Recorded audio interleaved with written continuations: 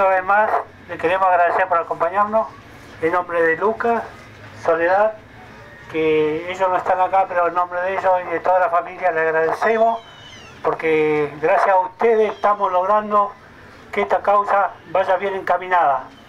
Con, les queremos comentar que el fiscal, bueno, como es de público conocimiento, ya pidió recurso extraordinario para que la causa quede en San Martín de los Andes. Con la firma que juntamos la noche de las artes y con todo lo que colaboraron algunas escuelas y comercio, llegamos casi a 1.500 firmas que ya fueron entregadas al presidente del Tribunal Superior de Justicia, el doctor Moya.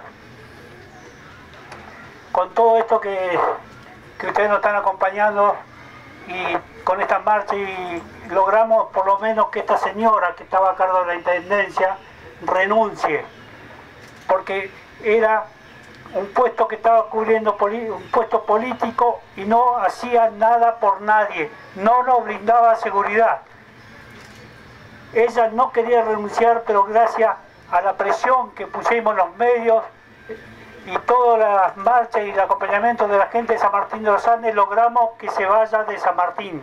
Y queremos comentar que la Fiscalía va a imputar dos personas más de parque de otro departamento que eran responsables y la gente que no esté imputada, la intendente de parque, los ex intendentes o la comunidad mapuche, la vamos a imputar nosotros, con nuestros abogados. Y esta señora, aunque renuncie, no va a quedar exceptuada de una demanda. Ella intentó sobornarnos el primer día, nos ofreció dinero para que no vayamos a los medios nacionales. Esto se le vamos a iniciar una demanda. Primero vamos a ir con, el, con lo de Martina y después la vamos a demandar por soborno. Esperamos que el lunes nos reciba la administración de parques, ya que viene el presidente de San Martín de los a hacer el anuncio de los nuevos intendentes. Ya se conocieron dos nombres, esperemos que, que ATE los deje trabajar, que los deje hacer su función y esperemos que hagan una buena función y solucionen toda la problemática de parques nacionales. Fabián, eh, ya adelantaron que más allá de las imputaciones que haga la Fiscalía, ustedes van a avanzar con otras imputaciones más.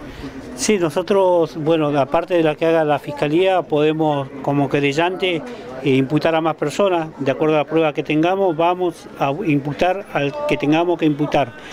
Eh, la comunidad mapuche eh, tiene responsabilidad compartida con parques nacionales, así que si hay pruebas suficientes también lo vamos a imputar a ellos. Acá no vamos a dejar a nadie que, sea responsable de la, de la muerte de Martina y Matías, que queden libres. Vamos a tratar de imputar a todo lo que podamos mientras los medios judiciales nos den. Recién se refirió a que ATE también deje trabajar al próximo intendente. ¿A qué se refiere con eso?